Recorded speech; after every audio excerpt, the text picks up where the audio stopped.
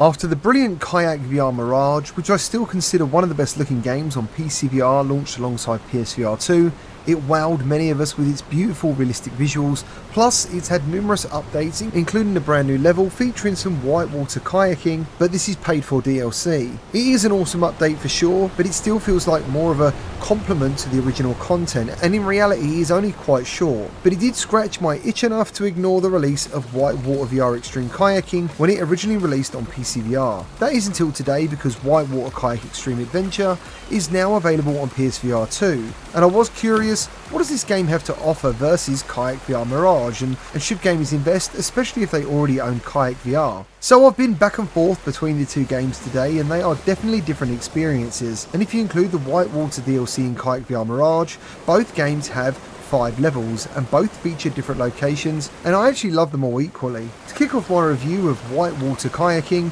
visually it is quite close to Kayak VR Mirage. It's definitely more impressive than I expected but Kayak VR Mirage still does have the edge, but only slightly. The water in Kayak VR Mirage is a bit more natural looking and in combination with some jaw-dropping set-piece moments. For example, when the sun peers over the mountains, or there's just different colour water in different locations, and it's all put together with some beautifully atmospheric music and sound effects. Kayak VR is still more the emotional jaw dropper. However, if you're only after the whitewater rush, I would definitely recommend Whitewater Kayak VR. I found myself completely loving the complexity of the courses, and this feels more of a game to get good at. It's fast, and there's some excellent moments when it does come to the visuals.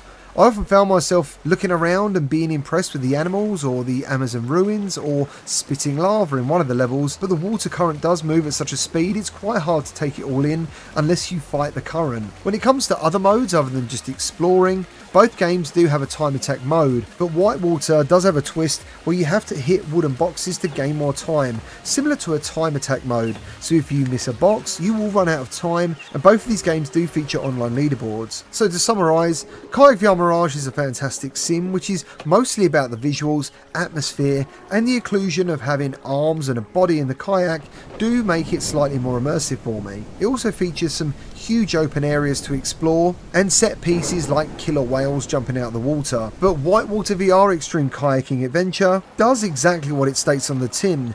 It's a challenging extreme kayaking experience with beautiful environments and it had me hooked from start to finish. So it does boil down to what you're looking for. Kayak VR Mirage does have whitewater kayaking DLC as I mentioned earlier and it is pretty awesome but it's also a little bit slower and is only really a tiny part of the whole level. But Whitewater Kayak VR is all about the rush of whitewater kayaking. There's plenty of times you'll be smashing against rocks and I just found it so much more physically engaging. Things I missed while playing were headset haptics and having a body in the kayak. Both games do deserve to be on the PlayStation Store as they offer very different experiences. But if say you can only afford one, I would still go for Kayak VR Mirage. Going back in today left me reminded how beautiful it is and the varying weather and day and night cycles, plus now an online multiplayer mode, do give it the edge for me personally. I hope this video helps you make a decision, and if it does, please leave a like, consider subscribing, and I'll see you on the next video.